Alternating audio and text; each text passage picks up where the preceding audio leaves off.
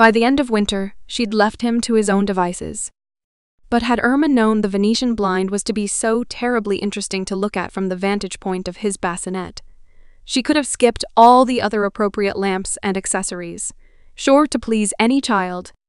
For, from the start, lying there on the orange and white diagonal patterned percale spread, the boy was determined to look out that window to the west. It was the clematis trellis, not yet budding, that framed the view beyond, where it looked out on the depression of the orchard, rising up to Otto's barn on the Hello, hill. friend. Kennet's dad is writing a novel at kennetsdad.substack.com for free. Erma, a 1930s housewife, wants to form the world around her. Heavily influenced by her subscription to Good Housekeeping, her efforts are beset by a husband she can't communicate with and a child she can't understand. To follow her poignant journey, please consider subscribing.